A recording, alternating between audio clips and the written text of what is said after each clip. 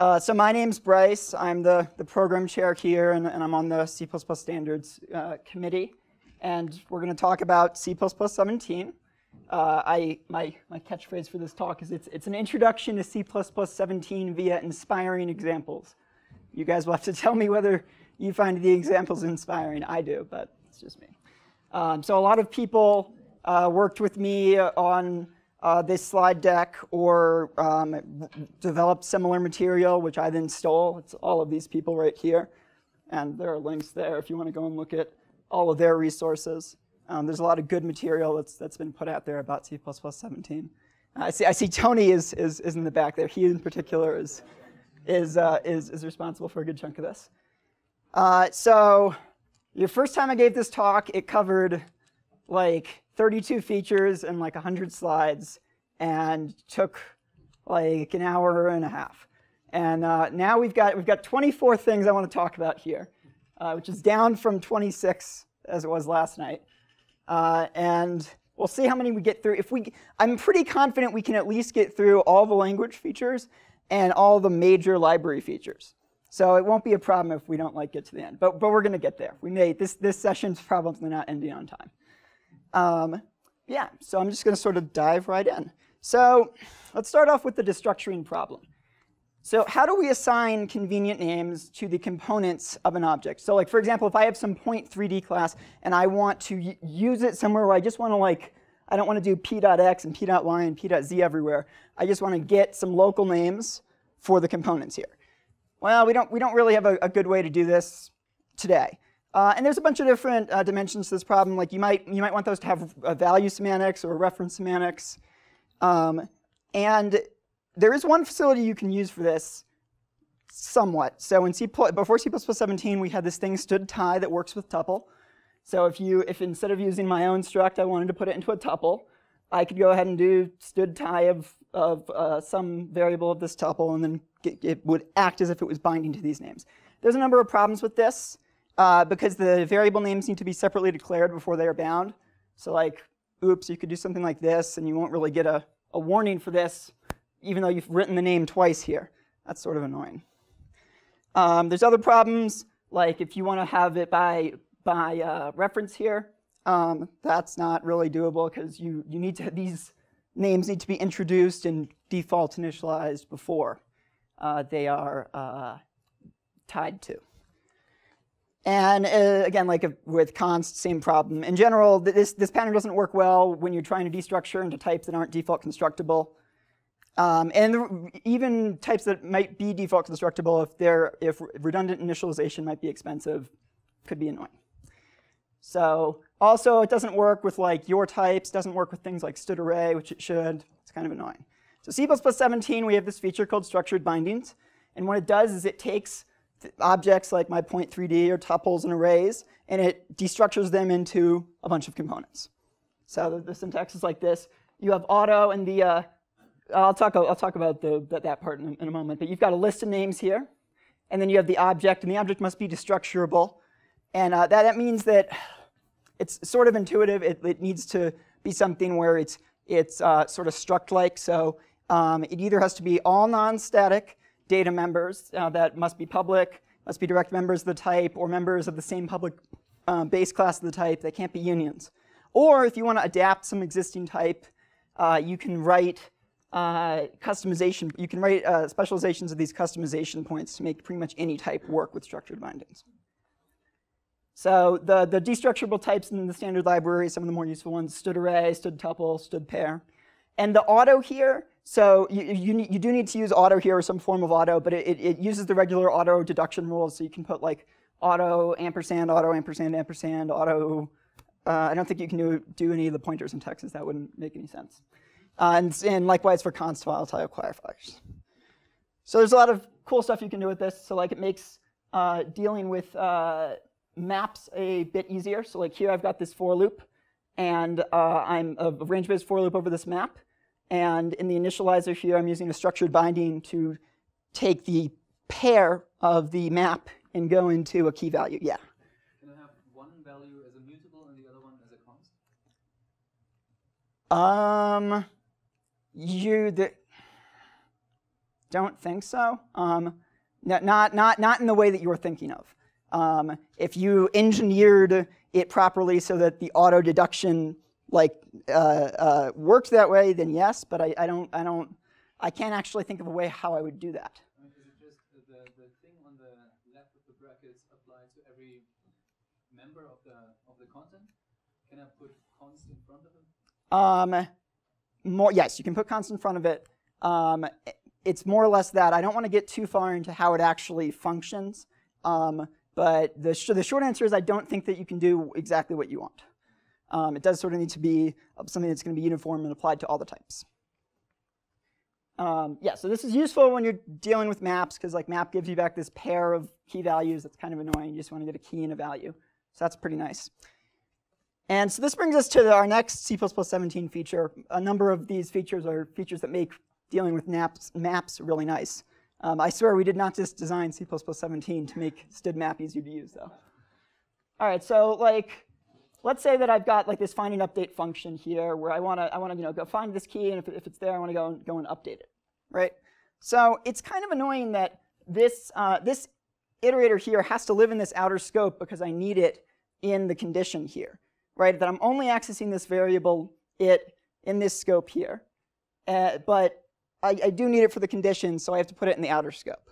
So this isn't just, it's not just ugly, but, but as I'll show you in a moment, there's some cases where it's just like really ugly and can be really annoying and can lead you to write bad code. So in C++17, we've made if and switch work just like um, for loops, where they can take an initializer. So here, instead of having this uh, declaration of this variable here, I can put it uh, before the condition in the if loop, and then a semicolon, and then the condition.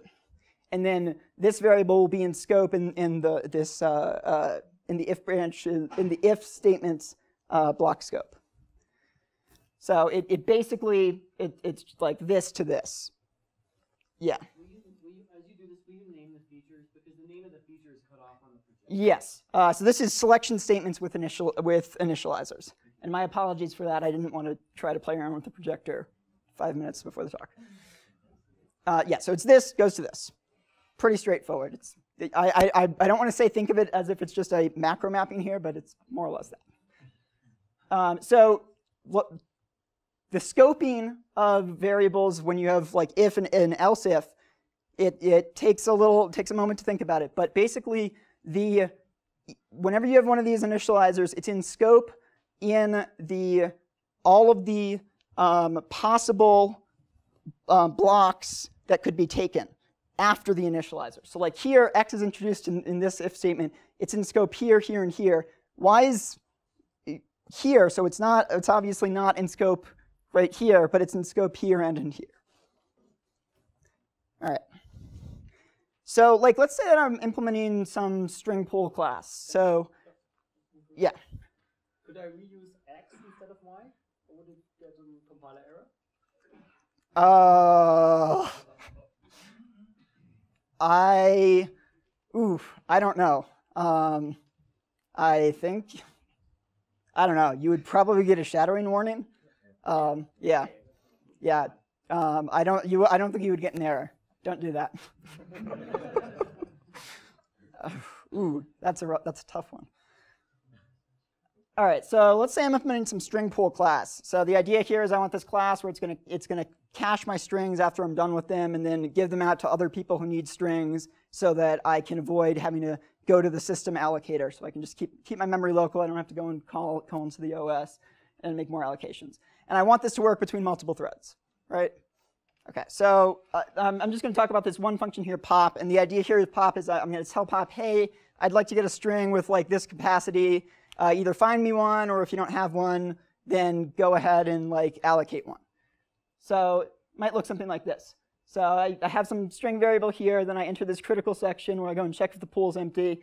And if it's empty, I go ahead and take the back, the back element. Pretty straightforward, right?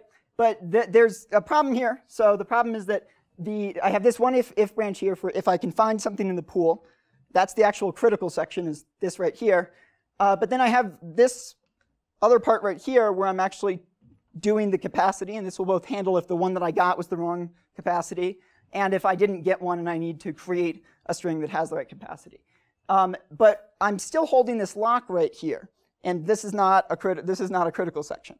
So before C++ 17, you'd need to do something like this, put more braces in your code to, to make this correct. I don't I don't need more braces in my life, so you could also just do this with C++ 17. So this is this is like my favorite thing to do with the if initializers. I think they're really nice when you're working with uh, lock guards, where the first thing you need to do in your critical section is check a condition, which is a pretty common pattern. And as I said, they're, they're useful with maps. They are useful with maps. So this is here, like I'm, I'm doing this map dot emplace um, on this key with this value. Get back the key value, uh, or here I, am getting back an iterator uh, bool pair, and I can just destructure it in the initializer here. In this case here is if the uh, insertion failed, and then I can do some error thing and maybe like report uh, what key was already in there. And then in the other case, I can go and do some, some callback function on the inserted element. All right, there's also the, the switch uh, init. It basically works the same way. I'm not going to show you any, any example for that. There's, there's some in, that I'll put in the slide deck afterwards, but same basic idea. All right, we're going to talk about another C++ extension to if. So let's say that we're writing a variadic print function like this. So before C++ 17, the way that you would implement this uh, is that you'd write like some base case overload, and then you'd write some recursive version here that goes and picks off the first element of the pack, and processes it, and goes and, and processes the rest of them. Pretty straightforward.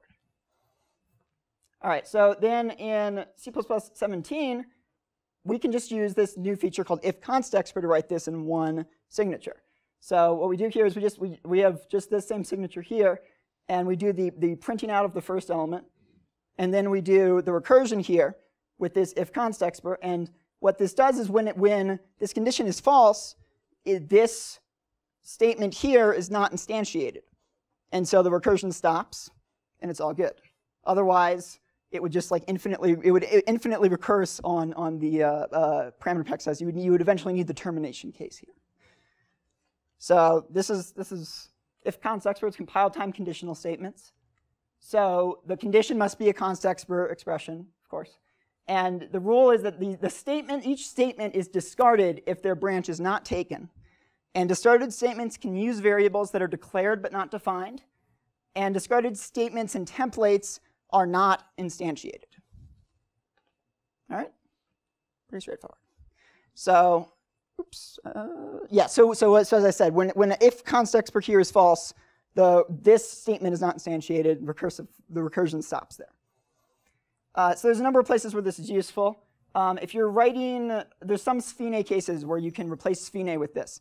Um, so like if I'm implementing make unique here, uh, before C++ 17, I need, I need to handle two cases. The, the first case is the case where the, um, the, the t is constructible from the arguments here, and I can detect that with this trait. And in that case, I want to do t parentheses, the arguments. I want to, I want to construct, do a functional style cast construct it. But if it's not constructible, so this case here, then I want to do unicorn initialization, so with uh, squiggly braces, right? So in C++ 17, you can just write lists like this. So just one template here with an if constexpr in the condition. It's quite nice. You don't have to write the condition twice, and you don't actually have to use SFINAE. So another slightly more advanced example, uh, no pun intended. So if uh, tag dispatching. So if you were to implement an algorithm like advance, um, you could use Sphene, or another approach you could use is tag dispatching here. So what tag dispatching is, is that I, I'm creating some, some type here within the template, or, and I'm creating an instantiation of, of, an, of a value of that type uh, that depends on one of these parameters here, in this case, the iterator category. And then I call some other uh, template function, which takes another parameter and which is overloaded so that it has multiple implementations and, and it will dispatch the correct implementation depending on this dependent type that we've instantiated here. This is a pretty common idiom that's been used uh, in C++. Uh, so in C++ 17, we can just write it like this. Just one function, we don't need, any impl function, no tag, well, we, you still need a tag here, but it's much cleaner. All right, another one here. So this is, this is probably my favorite one. So let's say I've got some, some person uh, struct here. uh, that has some some uh, you know getter interface here, and I, I want to adapt this to work with structured bindings, but I can't modify the struct, so I need to use I need to write the uh, free get template function. I can't write the member get template function or do anything particularly fancy. Um, so before C++ 17, you might this might be one way that you'd write it. So you'd, you'd declare the function here, and then you do full specialization, right, for each one of the cases here, and then you get a compile error if you were out of bounds. C++ 17, you can just write this. So just write it with if constexpr. Now, you, you might be wondering here, well, what about the out of bounds case? Well, in the out of bounds case here, you none of these branches are taken, and auto gets deduced as void. And then it's trying to instantiate void reference, which you can't do, and so you'd get a compilation error. So I think that's pretty cool. All right. Um, Yep. uh, just assume it was some void function, not returning something, where you wouldn't deduce it from the missing return type. Could I have add uh, an else with an, uh, a static assertion false? A static assertion false. Um, yeah, and that, that was never that was not taken. Uh, a static. would ass- would have been taken if I was like three. Um, I believe that I believe that yeah that, that if you have a static assert in the else branch that's not taken, um, that you'll be fine. Um, yeah, it, it would have to be a template function, of course. Um, sorry. If you don't have an else, it will compile. It's got to clear false. Like, Yeah, yeah, you you'd, you'd need to have the else. Yeah. Okay. Okay. So next up, so this this is fold expressions. So let's say that we're writing a variadic function where we want to sum up all of the arguments, all the input arguments here, something like this. So writing this before C++ 17 would sort of look like something I've shown you guys before, right? So you need some base cases, you need a recursive case here. You, you need two base cases here because you need to handle both the initial value case and the, and the single element case, right? So because you need to both terminate recursion, you need to handle handle the, the case where you have uh, where you call it with just with just nothing. So in C++ 17, you can just write it like this. So ns plus dot dot dot plus zero. So this is a uh, fold expression. So it's a new way to work with, with parameter packs. So fold expressions apply binary operators to parameter packs. There are four types of fold expressions here. They differ in the order in which the binary operator is applied and whether they take an explicit initial value. And I'll talk about that a little bit more in a couple slides. The uh, parentheses around the fold expression are required uh, for parsing reasons. Um, and all binary operators are foldable. So this is a uh, this is a binary right fold over the plus operator. So what, it, what this means is we've provided a sentinel, an explicit sentinel value zero, and the operator is applied from, from right to left. So it does 17 plus zero here, and then it does the result of that plus negative 42, et cetera, et cetera. So uh, a Boolean AND function is a good example of a, a unary left fold. Um, so it folds over the uh, the ampersand ampersand operator here, and so we want to we want to do the opposite order here because we, we want it to short circuit properly. Um, but notice we like we don't have any sentinel value here. So what happens if I call it with nothing? Like what does it do? What does it return? So it, it needs to return a bool obviously, but does it return true? Does it return false? Well, for for these operators, um, you can use them with, with unary folds. So uh, uh, Boolean AND, Boolean OR, and the comma operator. And uh, it will be assumed that the sentinel value is, is these, these values on the right here. And for any of any operators not listed there, you can't use that type of fold expression.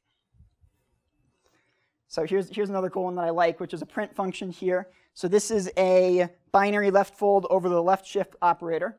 The initial value is std cout. Then I'm folding over the shift operator here and then I've got my argument here, and then the at, and that's all in the parentheses. So this all here is the fold expression, and then at the end here, I'm just putting out a new line. And then this this one is pretty cool too, I think. So this is a fold expression for where I've got uh, a function here, and I want to apply it to each one of the arguments of this parameter pack individually. So I've got this function call here, and what this is is this is a unary right fold over the comma operator. And so each one of those returns a void, so, that, so it doesn't actually produce a, a value. But I like this one in particular. All right, so next up is class template deduction. Um, so before C++ 17, we, you know, we've obviously we've had template uh, function template deduction to simplify the usage of function templates by allowing us to omit explicit template parameters when they can be deduced by the compiler from the function's arguments. We haven't had that sort of deduction for class templates, which can be annoying. Something like tuple um, or pair, uh, especially when you're writing it with like functional style cast, it can get to be very verbose. And so we have facilities like make tuple and make pair to help simplify this and which go and use uh, function template deduction. In C++17, we've introduced class template deduction.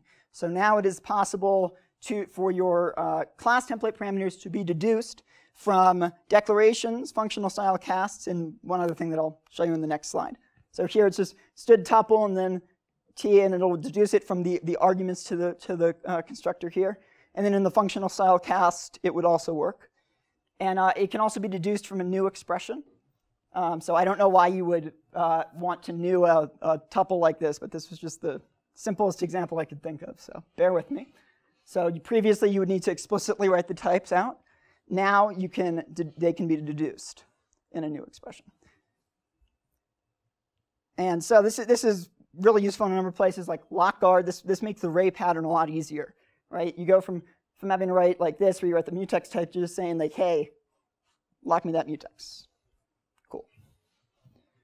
So as I said, there's, there's three, three uh, things from which uh, class template deduction can, can occur. So de declarations, functional style expressions, and new expressions. It is only performed if no template arguments are provided. So you cannot, unlike with, with uh, uh, fun template function deduction, you cannot specify some of the parameters and have some of them deduced. If you specify, like for here, if you do std tuple int and you've got like t01, this will not work. You need to either provide all of them or none of them. So there is, so, so there's some cases where class template deduction doesn't work as you may wish. So a facility has been added uh, called uh, user-defined deduction guides that um, allows you to control how class template deduction operates. Um, so the, the syntax, and I'll show you in another slide, this is syntax best understood through examples, but it, it's you write the template name and then a list of parameters, and you could put a template beforehand to declare the parameters. Um, and then you write what, uh, what it should map to, what instantiation it should map to. Um, so these don't have to be templates, but, but they can be and they must be within the same scope, so namespace or enclosing class as the class template. So for, example, vector. So std vector has in C++ 17 a deduction guide for its um, constructor that takes two iterators. Because if, like, consider this case right here. I've got this vector, and I've given it two iterators. And, and I, I've not given it any template arguments, so I need to deduce it here. Well, the compiler doesn't, doesn't know like what, what, what we mean here, right? What we actually mean is, hey, figure out what the value type of that iterator is, and then that's the type of vector that you are. And so that's what this deduction guide does, is it says, hey, when you've got, you know, this, when you have this constructor that takes two iterators, go ahead and, and you're a vector of the, the iterator traits of one of those iterators. Obviously, a, a, a, there's probably a SFINAE condition to make sure that those things are actually iterators. All right, and so as I said, they don't have to be, deduction guides don't have to be templates. So like if I have some name class here, take a first and a last name, and then it's, it's instantiated for some string representation. I could just have a deduction guide like this that says that C style uh, uh, char const stars should be uh, std string views. And if you don't know what string view is, don't worry, we're going to get to that. Um, so like here, if I do this name in with these two uh, uh, string literals, this will become a name string view. But if I give it in here two std strings, it'll just become a name std string. All right, so next up, we're going to talk about another sort of deduction-ish feature. So auto non-type template parameters is the best formal-ish name we've come up with, but I like to think I like to call the feature template auto. So before C++ 17, obviously it std integral constant, which is basically what I have on this slide here. Uh, it's one of our fundamental metaprogramming primitives. We use it to express compile time values. So you write like, you know, hey, I, I want to, I have this int constant here, or I have a char or whatever, and this is how we do a lot of our metaprogramming. Uh, but this is kind of verbose. Um, like modern C++, we expect to have the capability to, to express a value and have its type be deduced. So in C++ 17, you can now have auto as a template parameter, and auto indicates a non-type template parameter that is deduced, not a type template parameter. So like here, that's my constant now, it just takes one parameter. And so now I don't have to write the types, and if I'm passing it in like something like a function or, or even a lambda, I don't have to write it twice, which is really convenient. I can just write it once, it'll be deduced. So template auto uses the regular auto deduction rules. Um, so auto, const, auto, ampersand, combinations of those, auto star, etc. Um, now, one thing to note is that it is heterogeneous. So it, it, it, can be variadic. So like if I'm writing a sequence here, I can do auto dot dot dot of elements of the sequence. And this is very cool. This sort of gives us a capability we didn't previously had. So like this, the integer sequence that we're familiar with in the standard library, it just really works like one type of, one, one class of types. But now we can write uh, a more general sequence that will work with heterogeneous types, sort of a compile time tuple sort of thing here. Like this last one here, it's a sequence of int, char, and bool. Yeah. Can you use types in that sequence? Can you put them? uh, you cannot. Um, yeah, I, something that I've also wanted, but unfortunately no. So, uh, the, the, the question was, the, the, the, sorry, the question I just answered was, uh, before that one was, uh, was uh, do they all, can you put types in there? And no, they all have to be non-types. And then your question was, uh, do they have to be built-in types? The answer is no, they have to be anything that uh, meets the, that, that can be a, a uh, non-type template parameter. Um, so I don't have the list offhand, but um, types that are literal types um, or, or, or, trivial that are sort of trivialish types. So like tag types would work. Um, I, am I'm, I'm hesitant to, to, to, to try to list the requirements off the top of my head, but it's, not, it's not limited to built-in types. It is limited to anything that you could. Okay, all right. Uh, so, so actually, here's an example of uh, where you might where you'd use it with a non-built-in type. So a library that I work on has a, uh, a representation of dimension of a multi multiple dimensions for a multi-dimensional array, uh, where we want to be able to express both dynamic dimensions, so dimensions that we won't know until runtime, and static dimensions that we know at compile time. So previously, to make this work, we had to do hacks like just pick a magic value like negative 1, and use that as the indicator that this particular dimension, we're not going to know it until runtime.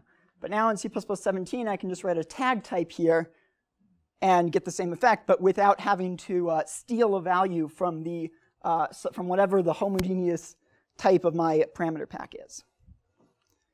So speaking of, of uh, metaprogramming, um, and this particular example, I want to talk about another uh, uh, C++ 17 feature, inline variables.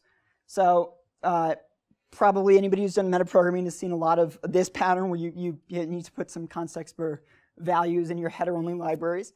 In C++ 17, we've added support for inline variables that work like inline functions. So now you don't have to deal with all of the uh, baggage that comes with uh, uh, putting a, a, global variable in a header. So let me show you, well, let me go to the synopsis. So, so variables can now be inline just like functions. They may be defined in more than one translation unit as long as the definitions are identical. The definitions must be present in a translation unit that accesses an inline variable. And an inline variable can have external linkage, uh, so like not static, and it, and it must be uh, declared inline, but it must be declared inline in every translation unit and has, and has, uh, this, it has to have the same address in every translation unit. A uh, static constexpr member variable is implicitly inline in C++ 17. So like if I have this like extern atomic bool that I have in some header somewhere, it indicates that some part of my system's ready. Uh, before C++ 17, you had to uh, initialize it in the source file. Now you don't have to do that. You can just put it in the header and just leave it there. Same thing for if you have it as a, a static member, data member of a function. All right, so the next feature. So uh, uh, there's two sort of related features uh, that help make lambdas usable in constexpr context. So prior to C++ 17, you couldn't really use lambdas in constexpr functions.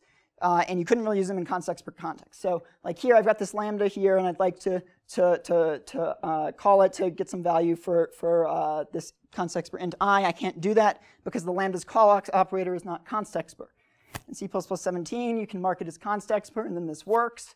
But also, in C++ 17, the compiler just figures out if it can be constexpr or not. And so the constexpr is optional. You can put it there if you'd like, but if the function would be constexpr, the compiler will determine it. And so basically, this code will just work in C++ 17. But note that this makes this does not make the lambda itself constexpr. This this is the, the lambda call operator being constexpr. So if you want to have a constexpr lambda, that is now also supported. So a constexpr lambda is different in that it, it, it is, you can construct it in a constexpr context, you can copy it around because not only its call operator is constexpr, but also its, its uh, constructors and its assignment operators. Uh, so Louis Dionne is one of the people who championed this feature because he, uh, he has a clever way of implementing uh, tuples storage using uh, constexpr lambdas. So the basic idea here is to uh, have a, a, series of these uh, uh, constexpr lambdas and to, to capture uh, in the closure uh, by value each one of the, of the, the tuple arguments. And then the storage is the closure itself. Uh, and and there's, a, there's a dot, dot, dot here, which I've actually never seen from him, but that's where he says it's, it's complicated but can be implemented. But so he, this is a, one of the, the things that you can do with constexpr lambdas now. So you can use them they're, they're, they're usable now in constexpr context where they weren't really prior to C++ 17. All right, this is a very quick one. Static assert used to require you to give it two arguments, this first argument being the condition, second argument being a message. A lot of people have probably written code like this because they didn't want to write a message. Don't have to do that anymore. Now the second parameter is optional. That's all. Uh, so we're on guaranteed copy copylation now. So before C++ 17, pretty much every compiler implemented return value optimization. Uh, but it hasn't been required. And because it hasn't been required, this means that you can't write a factory function that relies on return value optimization for if the type that you're returning is non-movable. That, that even, even if the compiler is like, hey, I, I, I know I can RVO this, because it's not required, it needs to make sure that you actually have the constructor, so either a move or a copy constructor, that it would need if it couldn't RVO this. So this is no longer the case in C++ 17. You can now have something like this, like a, like a grab lock function here that uh, returns a non-movable type like lockguard. Pretty cool feature. Uh, so return value optimization is now mandatory. You can RVO non-movable types. Named return value optim optimization and other forms of copy elision are not mandatory. All right, next feature, another quick one. Nested namespaces. You can now declare namespaces nested like this. So syntax on the left, equal to the right, pretty straightforward.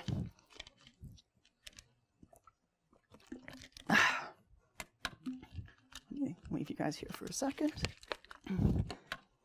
All right, next up. So this one is the last language feature we're going to talk about, which is good. We're doing pretty good on time, actually. So this is uh, the a new feature called has include underscore underscore has include. It is a preprocessor predicate for header testing. So you would use it in like a, in a uh, hash if or a hash else if, etc. Um, and what it does is it uh, you give it a, a, a, some header that you you're thinking about including, and it tells you it's true if that if that file exists, and it's false if that header can't be found.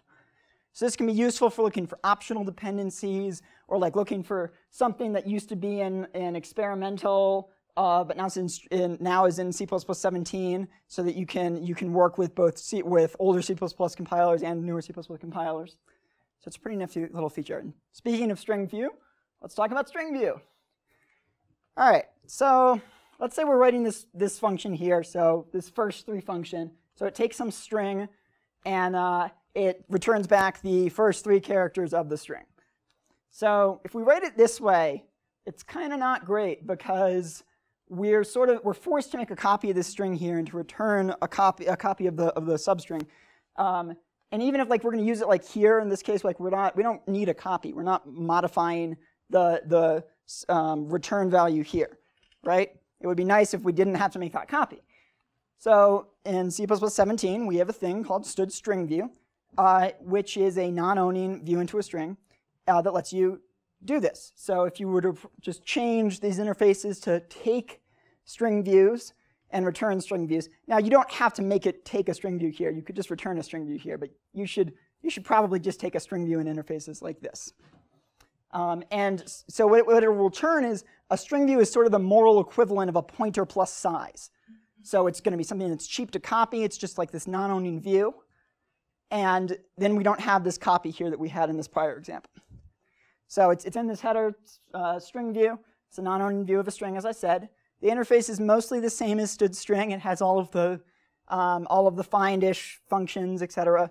Um, it is, I'm going to say, in a number of places in the standard library that take strings today, um, also now take string views, but not all places. But that is something that will be corrected over time. Um, so it doesn't ever allocate, doesn't ever new new things. It it doesn't own its contents. Uh, it's it's cheap, as I said. You should pass it around by value because it's like a pointer plus a size. You're not allowed to modify the underlying elements of the string, though.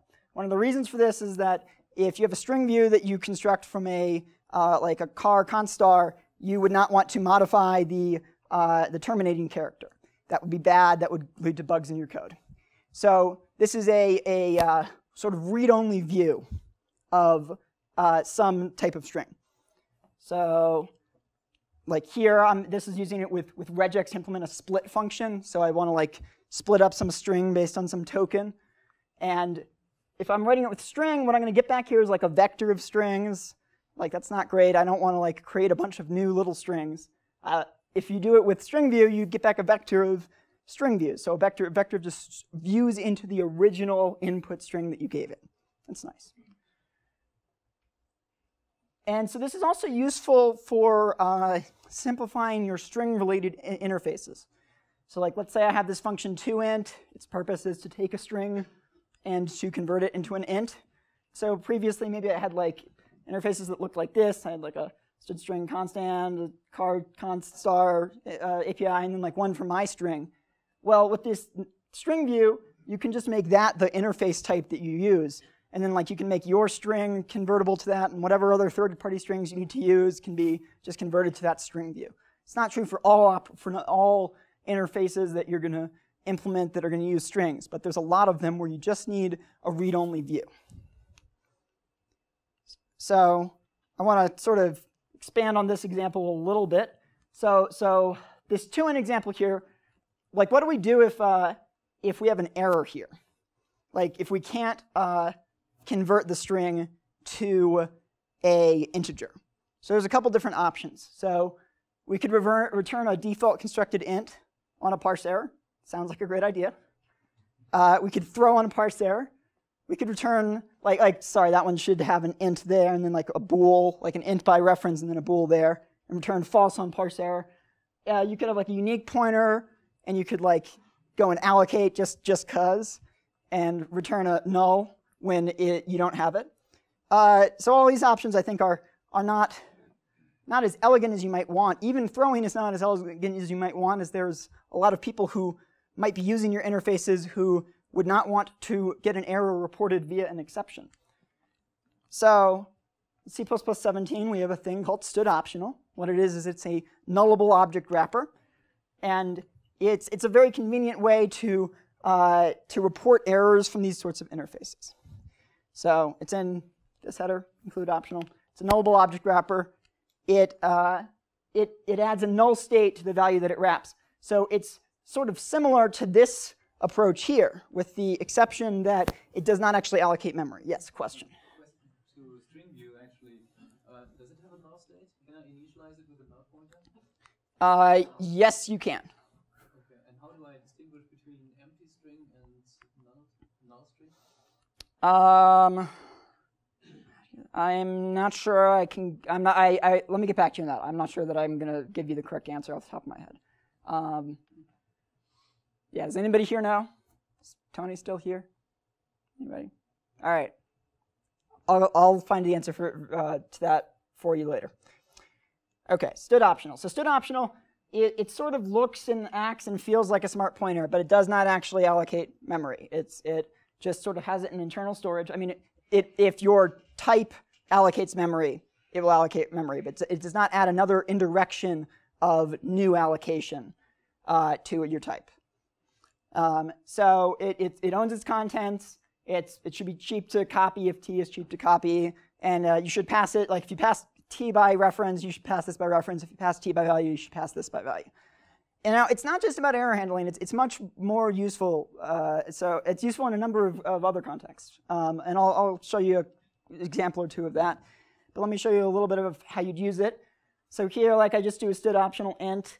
And note, of course, this int here, uh, when I when I don't initialize an int like this, what do I get? Mm, who knows? You could you could get you could get anything. But for the std optional int, you know that it, it'll be default constructed here, so that you can you can declare it without initializing it, and it'll be in a valid state. And then I go and I do my you know horrible conversion mechanism of std string stream, and uh, then like if it, if it I just check for if it succeeded, and if it succeeded, I assign to the optional, and otherwise I just return the optional, which was uh, just declared here and is in the default null state. So it's also useful for if I wanted to add a uh, optional uh, member to a class. So like previously, prior to C++ 17, a naive implementation of this might be like, if I'm implementing a person and if like middle name, some people might not have a middle name, but some people we might not know that, the, that, that they have a, whether they have a middle name or not. So like we have incomplete data in our database. And We'd like to be able to distinguish in between those. But this is kind of tricky if we're, if we're going to use this as our predicate for whether the middle name is known. So if it's, if it's empty or not, then we can't distinguish between people whom, whose middle name we know and people who have, uh, who have an unknown, who, whose middle name we know and who it's, it's a, they have no middle name, and people who we don't know whether they have a middle name or not. Sorry, that was not, not well described at all. I butchered that. It's okay though. So we could like add a bool to track this, this additional null state here. Um, but that's kind of not great because like then you have to then you have these two things that have this invariant. It would be nice to encapsulate them. So I think std optional is a better approach there. And then you can just you can ask whether or not the std optional, so just it's it's contextually convertible to bool, whether or not it's been filled in or not, distinct from whether or not the underlying thing, the string, is empty. And uh, another use case for this is for optional parameters. So like if I have this slice function here with a start and an end, and uh, like I want people to, to, to maybe provide one or, or, or, both, but I'd be fine with people like providing, I, don't, I want to have people, to give people the option of, of uh, only defaulting one of these. And so I don't want to like pick one where you have to like specify both. So you could do this with std optional. And then with this, it has a method value or. And so what value or does is that if you can, if it has the value, if it's in the valid state, and if it has a value, then it will give you back that value. And otherwise, it will return the value that you passed in into value or here. So like here, I've got like, I'm, I'm going to make a substring of some string here, and I do starts with value or, so it'll be zero if this was in the null state, and otherwise it's going to be whatever that value was, etc. Yeah. Is there also std none something like in boost optional? Uh, uh, uh, in boost optional, you have the boost uh, colon colon none constant. Uh, is there also such a constant with a with a new standard? I don't. I don't know the answer for sure, but I think the answer is. Sorry. The answer is yes. Okay. Okay. okay. Thank you, David. Okay, you could put it as default. Yeah, so, so, so the question was whether there is a, an equivalent of boost, it's none. none, of boost none, and the answer is that it's stood null opt. Yeah. All right, so next this is, we're gonna talk about variant. Um, and I've got, I've, got, I've got the variant champion in the audience, of course. All right, so before C++ 17, writing a discriminated union was not easy. And actually, seven years ago when I first came to this conference and talked on this stage, what I talked about was writing a, a discriminated union. So it's funny that I've like come back full circle. Uh, but yeah, it's not a fun process. Like if you want to do it using like a union, uh, union is not great for this. You need to maintain the uh, the uh, the state, whatever, whatever state this thing is in, separately from the union. And so like that's very error prone. Like what if you you keep adding things here and like you miss one of them and then like you're in trouble. And also uh, like union is not great with things that are not uh, built-in types. So if it's something with a with a a, a user-defined constructor and destructor, um, I think may, maybe a non-trivial constructor and destructor, and you you want to put it in a union, you basically need to use placement new and, and delete and, and, uh, and explicitly call the destructor, uh, which is not super awesome. So in C++ 17, we have a really cool thing called std variant, which is a discriminated union designed for C++ and not for C, and it's a really powerful feature. So it's in variant, so discriminated union, as I said. The interface is similar to boost variant. Um, the, there are distinctions from how std variant works and boost variant works. I don't want to really talk about those too much here. Um, access use, well, one of the common ways of accessing a variance value is through the visitor pattern. There are other ways of, of uh, querying what state it's in and getting the value out, of course. Uh, so it, it, doesn't do any heap allocations unless you know one of these objects that it contains does heap allocations. And it owns its contents. Whether you should pass it, whether you should, whether you should copy it or pass it would depend on whether or not the things you're putting into it are expensive or cheap, and also sort of depends on like what state it's in when you're passing it around. So this is, this is sort of one of the lengthier example, examples here, but I'm, I'm going to show a couple examples of how you can access variants here. So I've got this multiplier visitor that works for, for strings and ints and uh, then a, a, array of two ints. Um, and so using this std visit, I can give it uh, an instance of my function object here, and it will go and, and it'll call the correct overload for whatever state the object, the variant is currently in. All right, pretty straightforward. But it's kind of unfortunate that we have to have to like write a struct for this. It would be nice if we can do it in place. Well, we can. You can use if constexpr and the, the sort of tag dispatching idiom I showed you earlier to do this uh, with a lambda, with a generic lambda. So I I have my uh, generic lambda right here, and then inside of it, I, I, go and I figure out what type t is, and then I just have a bunch of if constexprs for all the different cases. It's kind of nifty. Uh, there's another thing that's uh, sort of a preview of a feature that's probably going to come in C++20, um, which is uh, there, I got this overloaded struct. What this thing does is basically you give it a bunch of lambdas, and then it uh, creates a function object that has the overload set of all those lambdas. And it uses a C++17 feature that's not covered by any of my slides, but you can now, you can have a using declaration that uh, uh, takes a parameter, that, that ex expands a parameter pack. So you can have a using declaration where you say, hey, I want to use the call operator of all of my variadic base classes here. And so then you would use it like this. So I would write, you know, a bunch of lambdas, one for each case. And so then I can really sort of write the same pattern I had here of just writing like an overload set wherever I'm doing the visitation. It's kind of nice. Yeah. Yeah. Yeah. Uh, we can determine the type at compile time, right? If const expr is not a compile time evaluation, right? It um I, so I'm not sure I understand the question. So the variant can be in any one of the three types there. We need to check the if at runtime to know which one is the valid type. Am I understanding correctly? Um, so the, it will instantiate this in, internally in the place where visit is implemented. It will have you know the, the, the each call to this, and at each call site of this generic lambda, it'll instantiate it with the correct type. And then there it will build sort of the, the, the right one in each place. Does that, does that make sense? So the, the, the uh, I'm going to have trouble repeating the question, so I think I'm going to uh, punt there, but it was sort of how does this work? Um,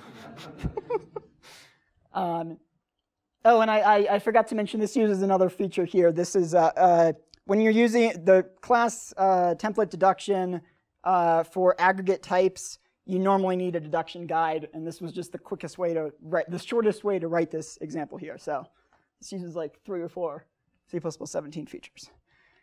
Variant's also useful for, for writing recursive data structures, for example, like a binary tree here. So like this is my uh, uh, this is my binary tree. I've got like the branch here with left and right, and then I've got this std variant here for whether I'm a, a leaf or a branch. All right. So what if I need like a variant, but I don't know the types at compile time? Or if like I want, I don't like a heterogeneous vector. Um, so we have this new facility in C++ uh, 17 that adds, it's a generalized type erasure facility called any. It's somewhat similar to like a uh, a runtime type erased variant, but it's probably not the greatest way to think about it. Um, it's, I like to think about it as just a generalized type erasure facility. And so you can use it to, to do something like this, a std vector of std any, I can just put whatever I want in there. It's like I can put a string, a tuple, 42, I could put another std vector of std any. Pretty cool. So it's in this header any, it's type erasure, the, the objects have to be copyable. Uh, there's four main operations you can do with any. You can copy it, you can assign a value of some type t, you can ask it whether it contains a value of some type t, and you can retrieve a value of some type t from it with this anycast thing, which will, which will throw an exception if you, uh, if you try to get a type out of it that, that it's not currently in that state. I don't believe there's a visitor um, mechanism for it um, because I, I, I, can't I, I, can't really envision how that would, that would, that would uh, uh, look like.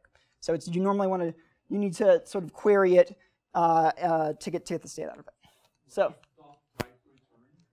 um, it will return the type T. So it's a, it's a template member function that, that you have to explicitly say, hey, this is the type I want to get out of you. Yeah. So I've seen someone who wrote a visitor for any that where when you call it, you have to specify all the types. Yeah. Yeah. Um, I, I, I think we should, it would be nice to have something like that. Um, I think. Uh, I kind of like the visitor pattern, but we don't, I don't think we have it right now um, in the standard. Um, and so std in it, its type erasure, it will use, it will potentially allocate memory. Uh, it, it, owns its, its contents. Um, uh, that one should be wrong, I should say. It's potentially expensive because it allocates memory. Uh, but it, it is sort of dependent on how expensive copying your underlying thing is. But it will always need to allocate a new any when you copy it. And you should probably pass it by reference. All right, so now I'm going to talk about my favorite C++ 17 feature, parallel algorithms. It's my favorite because I have been sort of involved in this uh, feature. So pre, prior to C++ 17, we had some concurrency facilities, some threading facilities, but we haven't really had parallel programming facilities. So if you wanted to write something like just a, a parallel for loop that was also potentially vectorized, you, would have to use some other thing that's not part of the standard like OpenMP. So in C++17, uh, we have parallel algorithms. So instead of writing this, you could just write std for each, just like the for each that you know today, except that it has an additional parameter that you could pass at the beginning, which is uh, an execution policy. And so these two are roughly, roughly equivalent. Um, it's also like if you want to do a parallel sort, Hey, there's your parallel sort in C++ 17. All right, so the because algorithm the, the algorithms live in both algorithm and numeric, and all the parallel overloads also live in both algorithm and numeric. The execution policies live in the execution header. Um, so these new overloads, they take, as I said, this execution policy thing for most of the existing algorithms. And I'm going to explain what that is in the next slide. For now, I'm going to talk about some of the other uh, places where, they, where the parallel algorithms differ from their non-parallel overloads. So the input iterator, uh, any place where there's an input iterator requirement, uh, in the parallel algorithms, it's been strengthened to forward iterator, um, and same for, for, same for output iterator, I believe. Um, the complexity guarantees are relaxed for some algorithms. Uh, there's a, both a general relaxation from any place where there's a, a, complexity guarantee that is exact in the serial algorithms. We now say it's O of that exact uh, guarantee. And there's also some other places where we further relaxed complexity guarantees where we did not because we we knew that there was not a parallel implementation that could meet that complexity guarantee. We also yeah question yeah. Are there some guarantees uh, on the implementer, like some requirements on the implementer that you cannot create threads at that time, you have to be taken from thread pool? Some, something like that, some guarantees from that. The, the question was what are the restrictions on how the on the implementation of a backend? Let's let me let me cover that on the next slide. Um, but the short answer is uh, there are restrictions, but they're sort of very they're very general. That that's a feature that's coming down the road. But let me i am going to cover that in just a moment. Um, so there's new algorithms that are designed for parallel programming. Uh, so reduced inclusive scan and exclusive scan are based on existing numeric algorithms, but they have weaker uh, ordering guarantees. Um, and then we have transform reduce, transform inclusive scan, and transform exclusive scan, which are uh, combined algorithms. So transform reduce does a transformation and then feeds a pseudo sequence to a, a reduction. Uh, it's, it's sort of like a more generalized uh, map reduce. Um, and yeah, let's get into what the execution policies are. So the execution policy describes the how of execution. So whether or not parallelisms are allowed, and sort of what type of restrictions must be respected by the underlying implementation. So how can you parallelize this? How can you screw around with my code while parallelizing it? Um, and that's all that's in C++ 17. Um, so it does not have, give you a way to specify where parallelism happens. That is coming in C++ 20. So executors are the thing that uh, that would describe where execution happens. So on a thread pool, current thread, GPU, etc. It's a feature that's in the pipeline. It's not in 17. Should be there in 20. Um, so there's three execution policies in 17. Uh, std seq, std par, std par unseq. Uh, I, am not. I'm going to avoid reading you the formal definitions because I was thinking to myself as making as I was making this slide deck that's not useful to anybody but me. Uh, I, I, just like like it doesn't have a lot of value. I'm just going to tell you like what the TLDR is because um, I think that's that's better. If you want to look them up though, they're in the notes for the slide. Uh, so std seq is just going to be serial execution. Now you might wonder why would you use this and not use just the non-parallel overload? Well, the there, as I mentioned on this slide, there's some differences between how the parallel version, the serial, and the, the non-parallel versions would work. Std seq is a useful debugging tool because it won't give you parallel execution, but it would go through the same machinery. Also, the error handling is different for, for the uh, uh, serial algorithms and the uh, parallel algorithms. Basically, for the parallel algorithms, uh, if a uncaught exception escapes from uh, one of your user fu a function that you wrote, if, if you threw an exception and it escaped from there into the parallel algorithms machinery, std terminate gets called. Um, I am, I, and if you hate that, I am definitely the person to blame, and I am both sorry and not sorry at the same time. so std par. Std par is uh, most closely matches the SIMT model. So parallelism, but not vectorization, because in SIMT, the vectorization is done by the hardware. So, it, so what, what this guarantees you is that the, uh, there won't be anything that goes and tries to interleave your functions, and that the operations will be sequenced with respect to each other on each thread. This is basically like normal C++ rules. Like it, the, the things that you would normally expect like C++ to do and compilers to do. Std par unseq gives the compiler permission to do weird things that you that the compiler can't do today. In particular, it could like for for each, it could go and say, hey, I'm going to interleave uh, multiple different invocations of the uh, of the function that you've passed into for each um, and interleave the, the execution of the individual steps of those functions. So it allows, it allows and gives permission for vectorization by the compiler. Um, and it, it's a better match for, it, it, it, works for, for the SIMT model, it works for the, for the uh, it's a better match for the SIMD model in particular, so like Intel GPUs. Um, I mean, which one you use, it should depend on what you're, uh, not, not on the hardware that you're targeting. It should depend on what is what you can tolerate in your code. So don't, don't match these to uh, particular systems. Match these to what, uh, like, what can I allow here? Is interleaving fine? Is it not fine? And pick the execution policy accordingly. Yeah, I see a question in the back. Uh, so if I'm used to doing rank order reductions in MPI, if you're used to rank order reductions in MPI, what, um, yeah, so we should talk about that later. Um, the yeah, I think we I think we'd have to talk about that later. I don't think that's an execution policy question. Uh, although with that said, you would definitely not want to use par unseq or unseq. I think. Although I th I think the interleaving that you'd get on a SIMD architecture for, from like a vectorizing compiler would largely always be sort of a some ordering that's that's that's that's uh, sort of no actually I take that back. Um, you you should use std_par but I'm not certain that we have the algorithm that really gives you what you want.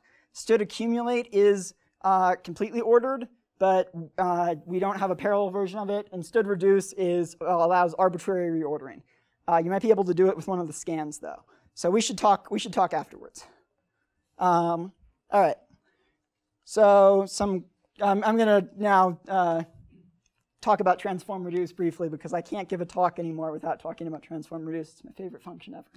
So let's say that you want to do a dot product of two vectors. Uh, in C++ 17, you can do that, and you can do it in parallel with transform reduce. It's awesome and amazing. So transform reduce is sort of like an inner product. Uh, it's a little more generalized than inner product, though. So uh, this, this is a version here that takes two sequences, the binary, binary transform reduce. So it takes, it takes two binary operators, a binary reduction and a binary, uh, uh, a binary transformation. Uh, and, and for this overload, yeah. Where's it getting the binary operation from? They, the, they default to plus and multiplies. Yeah. Um, and then, yeah, and so you can also write it in, so I, I all of the new algorithms, that the new parallel algorithms, they also have sequential forms. So like inner product, no, it's the other one that inner product doesn't have an overload for. But you can, if you just wanted to write like std transform, if you wanted to write this without the, without the execution policy, you can do that.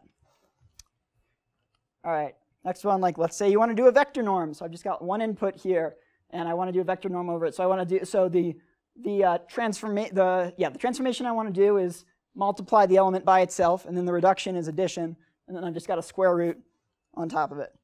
So this, is this is because there's no functional, uh, there's no square function or square function object in the functional header. This one does not have defaulted uh, operations. Um, I'm sad about it, but may maybe, maybe someday in the future. But so here I got transform reduce. I say the policy, got the input sequence. I have the initial reduction value. And then I've got the binary reduction op here, the addition and then the uh, unary transform op here, squaring. And this is parallel vector norm with C++ 17. All right. Std file, the file system API. Okay, so prior to C++ 17, you had to use platform-specific APIs to access the file system. So here's what copying a file in a directory uh, looks like on Windows. Uh, there, I should clarify, this is the code that Tony gave me. I, I, I don't know enough about Windows to, to know if this is right. I'm going to trust Tony on this, but like I'm, I'm slightly terrified by like, they have like a copy file. Like that's nice, but like what is, what is going on here? I, I, I, I don't want to know. I don't want to know. So C++ 17, we have a file system library that's pretty nice. It's, it's uh, based on Boost file system, and it's, it's, a, it's a portable way to access the file system. And I also think it has the benefit of having a pretty nice modern C++ API. So uh, it lives in file system. It does have the unfortunate long namespace. So you will frequently see people in examples or in code do, do this namespace fs equals std colon colon file system. Everywhere I'm going to talk about it, I'm going to do that. It's based on Boost file system, as I said. Uh, its interface is primarily non-member functions that operate on path objects and on, on other objects like directory iterators, but path is sort of the main vocabulary type of the file system API. So it's file system path, um, and, and as, as, you can see here, you can do things like the slash operator to concatenate a directory, et cetera, and it handles all the differences between the file system structure on Windows and, and POSIX systems. And then uh, there's, uh, for working with directories, there's directory entries and then directory iterators.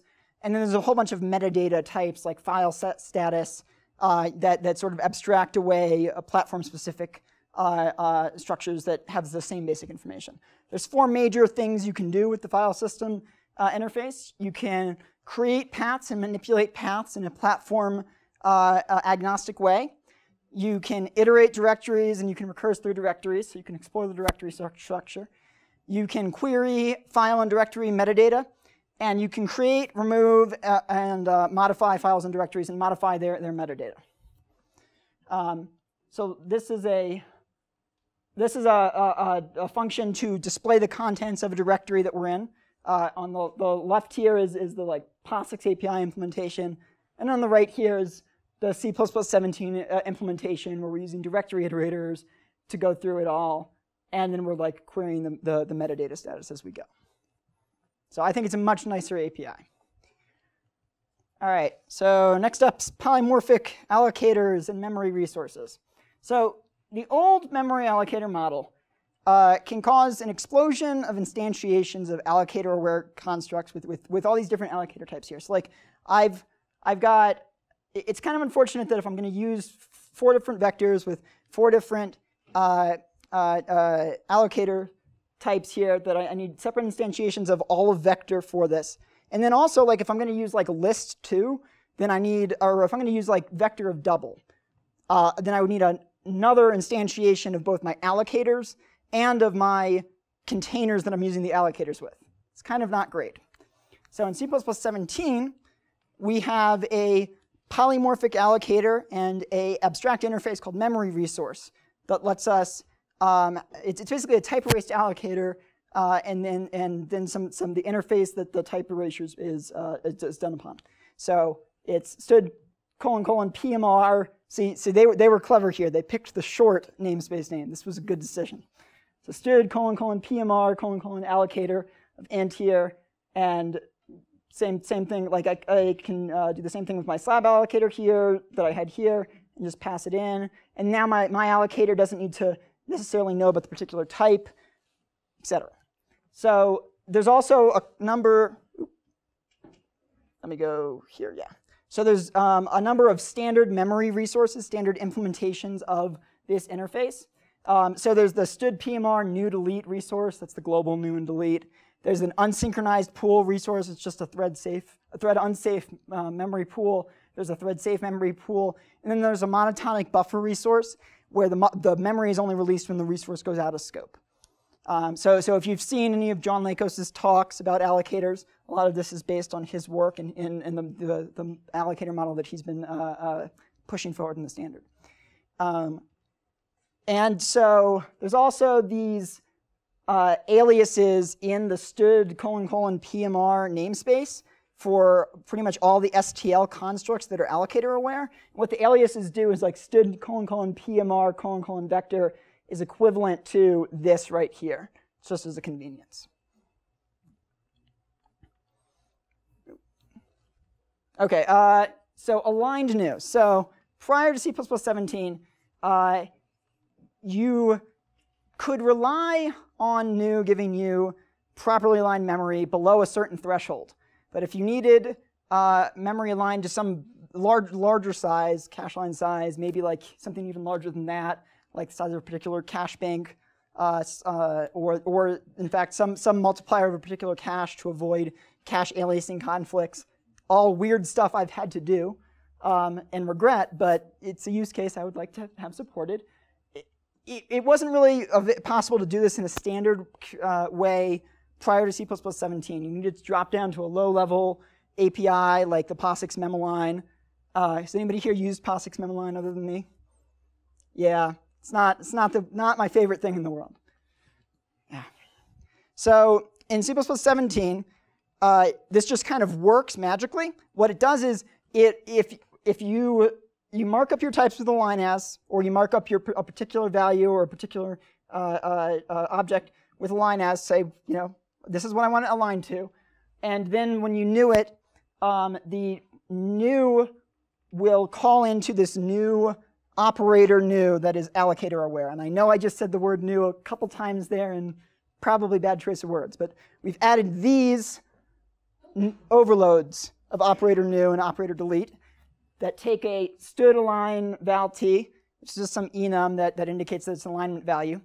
And when you call new, there's a this lookup uh, procedure that will uh, prefer it- it'll prefer sort of being backwards compatible. But if, if you've asked asked for alignment, it'll go and call the uh, the global allocator, assuming you don't have some class specific allocator that you've written.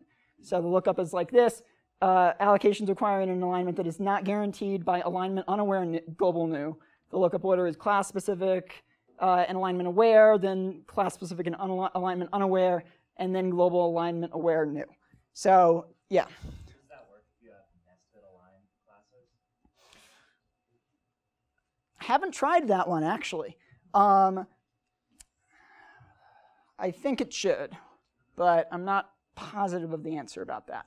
Um, Isn't alignment pushed to a type if you if you have a base class or a member of the alignment? yeah, yeah, but but I uh, the, I think the question is like if you if you had both the the class and the member had an alignment requirement, which is preferred, and I think the the classes would be preferred.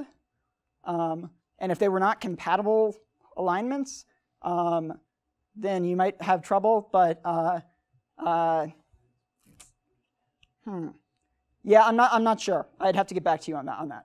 There's there's times where you just want maybe it's like the data block or something. Yeah. That needs to be page aligned and not actually Yeah. class metadata. and stuff. Yeah. Um, yeah, I'm not sure the an- I'm not positive about the answer to that. Okay.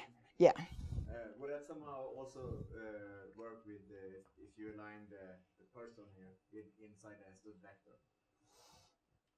To use the vector as the instead. Um, if so, sorry. Talk talk me talk me through that again. So if you use the the aligners here instead of instead of a raw uh, C array, if you want to use the same uh, alignment but through a std vector. So if you if you if your person struct is marked with alignas uh, correctly here, then within std vector using the the default std allocator, it's going to call. Uh, uh, I'm not I'm not sure if it's guaranteed that it'll call uh, that it'll call uh, array new, um, but but no, I, I think it would have to. Yeah, um, it's not just gonna gonna call any other allocator. Yeah. So yeah. So yes, it would just work with with std vector out of the box. Sorry, I just had to talk. I had to talk myself into it. Um, yeah. I mean that's that's part of the reason for the design. Yeah, Um, yeah. But one thing to keep in mind is that is that today you do in many cases get like alignment will be respected. It's just that above a certain threshold on, on platforms, uh, you don't get that guarantee. And this only kicks in on those platforms and, and takes care of those cases. So don't don't freak out and like think like all your code has been like unaligned up until now. You, you may have been fine, but there have been some corner cases where it's not not worked out. Yes. Might be a special question, but is align alignment also put to the type of the allocator right now? Don't think so. Uh, the question was: Is alignment uh, is alignment associated with the type of the allocator? Because in the there's no yeah, no information about alignment for an allocator. Yeah. So, so allocators right now. Uh, hmm. We don't. I don't think we have uh, alignment aware allocators. We, right now, we only have alignment aware new and delete, and alignment aware you know class specific new and delete. Um, that could be a thing that we should we should probably have in the future, but I don't believe we have that right now. Yeah. Talk about the aligned deletes, and they have to match up, I assume, right? Um, I, I have never met an aligned memory allocation API where you can't just call free, where like it needs to call a specific one. Uh, okay, okay, all right.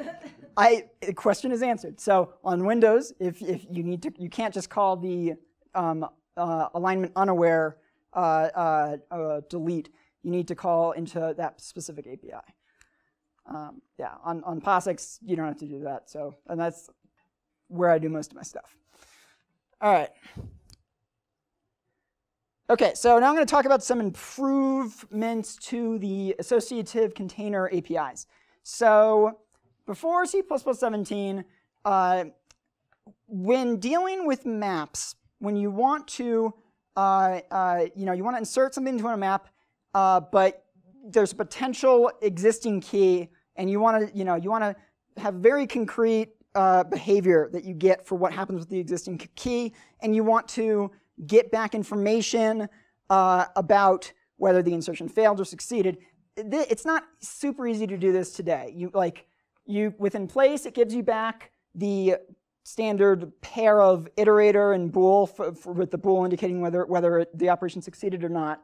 But if you're uh, doing it with just uh, operator bracket, you don't get back that iterator to where the, the to the where the element was uh, uh found there, which you might want if you were like, hey, I, I like didn't insert as I wanted to.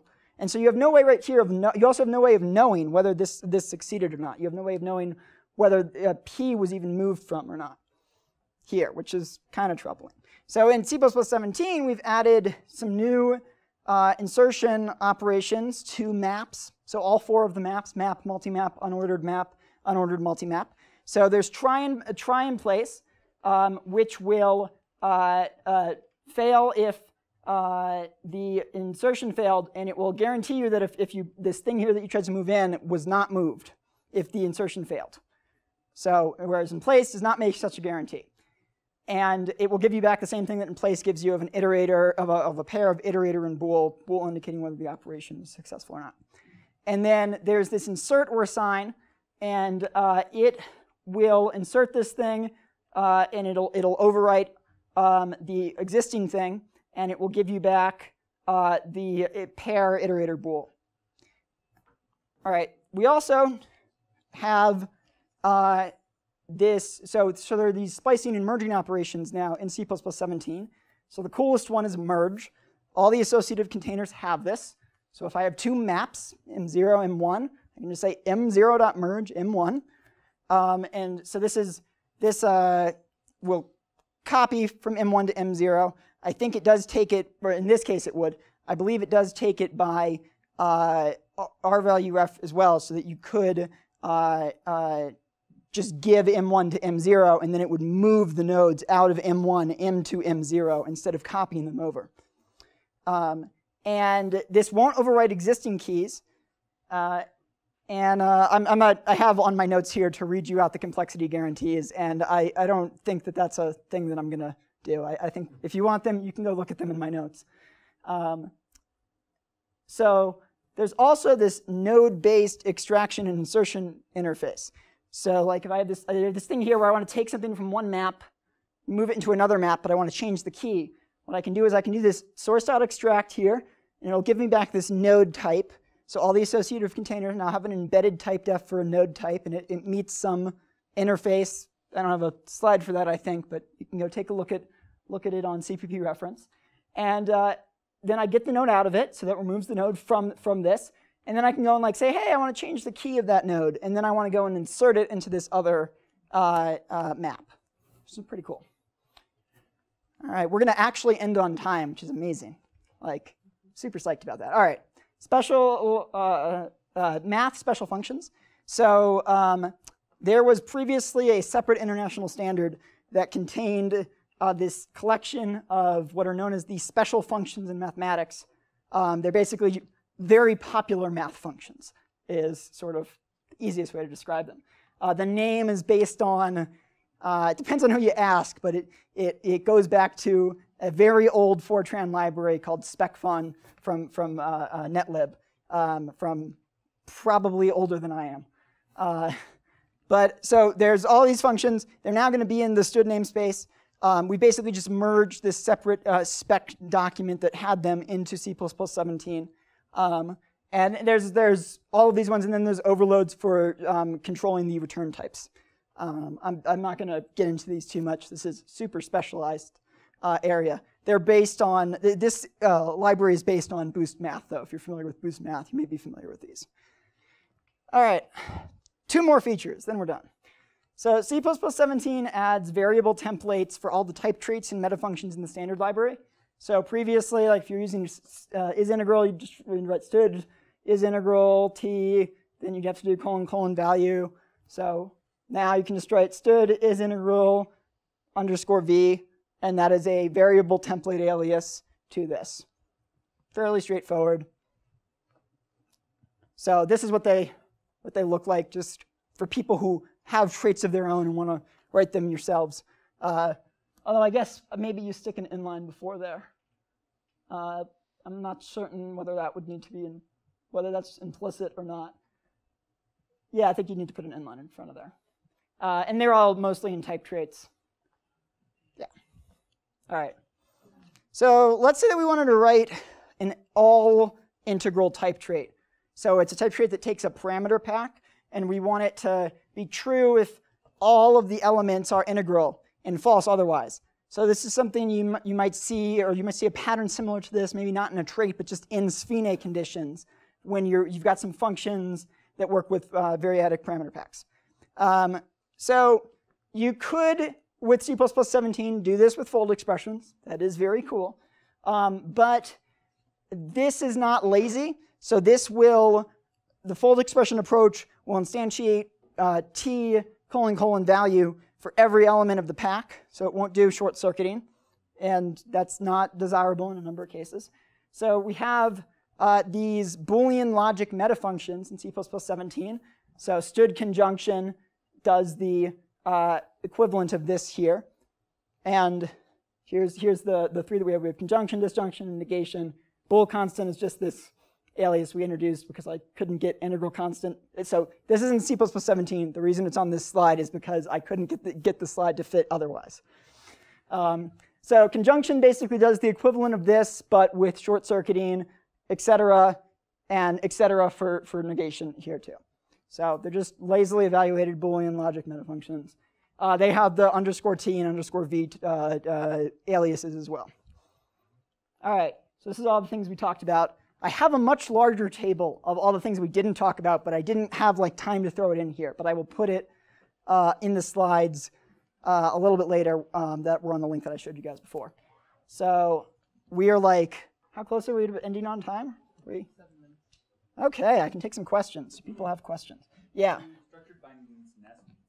Um, the question was, do structured bindings nest? The answer is they do not right now, but we believe it is a, a area that we could uh, explore in the future. So we don't think there's anything that would prevent us from, from exploring that in the future. Yeah. Do You know what the motivation was for calling those things conjunction and disjunction? Uh, because we couldn't use and, um, like, we couldn't use, oops. Yeah, like, like we, I don't know what the choice was, but I really want to find out who was responsible for it.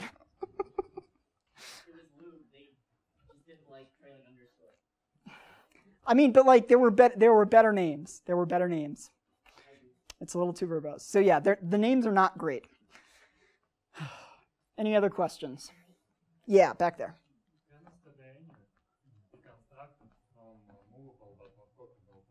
Sorry, can you repeat that one more time?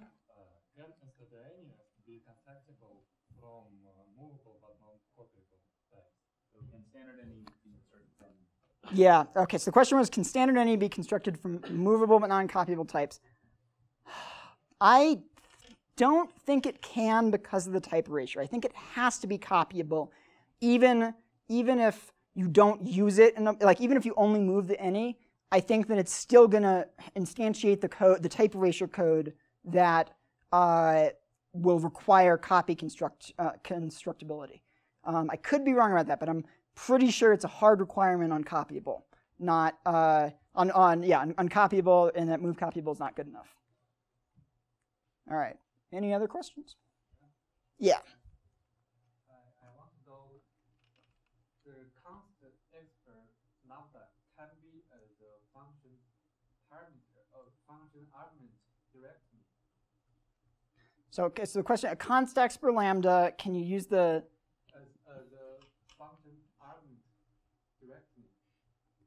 I'm not. I'm not certain. I understand that. That. Uh, I'm, I'm still. I'm not. I, I don't. I don't. So so to pat to. Yeah, it's pass it as a function argument to another constexpr function. Uh, yes. Uh, I, I want to know um, your example. The constexpr uh, should should be should be front of the lambda, right? Yeah. And uh, def and uh, the definition is, is, is like that. And sometimes I want to use it in place from uh, your, your, your function. Yeah. Um, I'm, I'm sorry. I'm still not sure that I that I that I understand uh, the, the use case though. I'm sorry. Uh, that that I think I think what he's asking like if you do not give a name to your lambda yeah. in place, how do you define your constexpr? Uh, I'm gonna. Okay. Is that is that is that sort of what you're getting at? That that that if you're using it anonymously, how do you how do you mark it as constexpr? Um, so I think I don't think you can mark the entire thing as constexpr. In that case, you would only be able to mark the call operator as constexpr. Um, that's yeah, that's an interesting. That may that may be a a, a weakness of the way the the the syntax works right now. Um, I think it's totally sufficient for the call operator to be constexpr in that case. When you when you immediately invoke it and it's anonymous. yeah, but yeah. Constexpr for it. But if you're, but what if you're passing? But okay, I, if he's saying if you're passing it into a function where like you're going to copy the functor, uh, that might not be great. Um, I think you should talk to Louis Dionne about this. Um, that does seem like it's a problem. Um, yeah, it's not great. Um, yeah. Is there stuff that didn't make it into C++ 17? you know, concepts, modules, what got pushed down the road? Um, I, I don't know that I can answer that question aside from saying. So the question was: Is there stuff that didn't make it into C++ 17? Uh, the the best answer is probably yes. Um, uh, uh, there is a lot of stuff. There's there's multiple things that are in flight right now. Um, we have about six or seven TSs in flight right now. Uh, concepts uh, is in a TS. Modules is heading to a TS. Ranges is in PDTS. Networking is in PDTS. Coroutines is in PDTS. Executors is in very early stages of um, maybe being in a, a TS. Concurrency and parallelism are both about to do their next round of TS. Um, I'm sure I'm forgetting some. Um, we have a large quantity of things that are in, fl- in flight right now. Um, and there's other things that are, that are, that are in flight, but that are uh, not in a TS or that are just directly headed for, for, for 20. Um, so yeah, there's a lot of things coming up. I think 20 and 23 will um, probably land uh, some set of larger changes uh, that will have a broader impact. Um, I hesitate to comment too much as to future direction, though. Um, yeah. Is there stuff that was deprecated or is Yes. debated for deprecation too? There's a lot, bunch of stuff was deprecated or removed in C++. So the question is, um, was there stuff that was deprecated or removed? Uh, and are we going to deprecate and remove more things in the future? Um, so there was a bunch of stuff that was deprecated or removed in C++ 17. I have a, a slide on that, but it's not in this deck. I'll put it in this deck when I upload it. Um, and I'm not going to do a good job of remembering off the top of my head what those things are. Um, as for whether we're going to continue to do that, um, we certainly are, and the rate at which we are willing to do that is a, um, a question of that comes up frequently in the committee, and uh, many people have many different answers. Um, I think, like we're we're talking about doing this std2 thing, um, and th- it means different things to different people. Uh, some people see it as a way to um, to fix mistakes of the past without uh, uh, having to satisfy the requirements of those who have a very high bar for uh, backwards compatibility.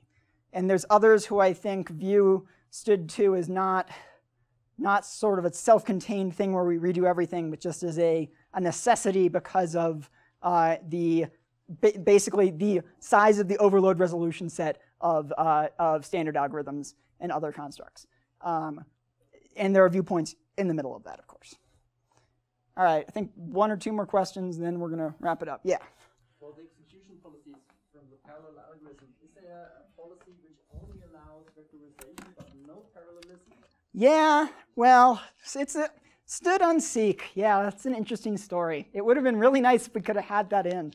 Um, like, I really wanted that, but oh, sorry. The question was why don't we have a policy that just does vectorization, an ex, a parallel execution policy that just does vectorization? Why is there only std par that requests both parallelization and vectorization?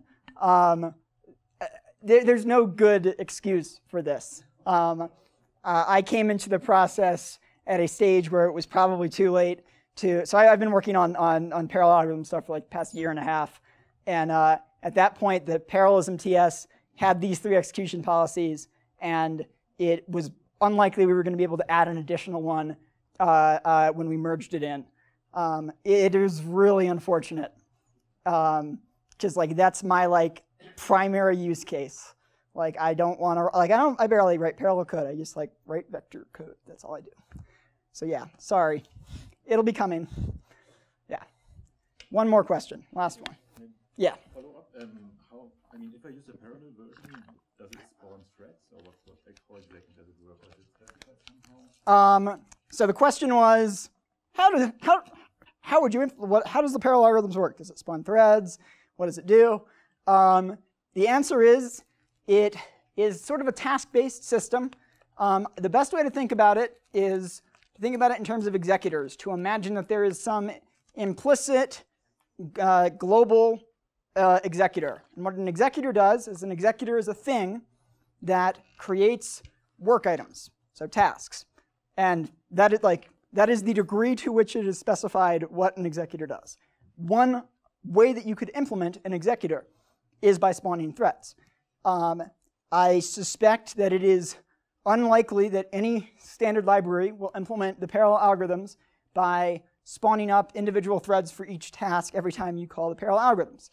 Um, but there's a wide range of options here. And the reason why this is such a why you get such a vague answer to this question is because this is a facility that's designed to work on a very wide range of hardware with a very wide range of options for parallelism. Uh, so this is designed to work on GPUs and CPUs and other types of accelerators well. All right, last question, I swear. Yeah. If uh, the variety of the possible variants of the execution is so wide, why not create a custom Um, well, uh, so the, the question is, um, why don't we have like more customized po policies for specific uh, specific models? Um,